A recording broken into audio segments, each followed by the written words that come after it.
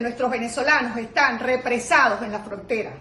El régimen genocida ha cerrado los canales humanitarios, los puentes, han condenado a nuestros venezolanos a estar en la intemperie, ante la inseguridad, insalubridad de la que hoy están padeciendo en condiciones inhumanas, en condiciones de campamentos improvisados llamados coloquialmente cambuches. Allí están pernoctando nuestros venezolanos.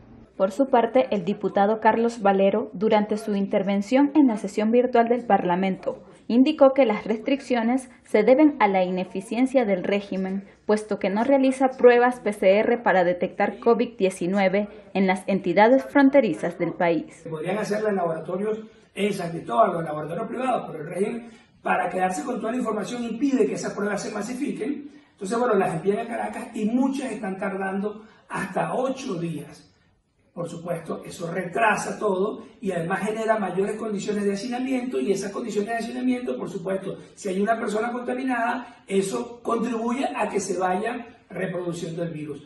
Esto es un trato vejatorio e inhumano. Nuevamente, el régimen quiere hacerle pagar a nuestros hermanos su ineficiencia. Impedir la entrada de venezolanos a su país es un acto inconstitucional, aseguró el diputado.